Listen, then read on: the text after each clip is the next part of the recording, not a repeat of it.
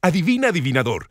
Un hombre se enamora y anda con cuatro mujeres, pero un día decide dejarlas a todas. ¿Cuál será la solución? ¿Irse a China o fingir su muerte?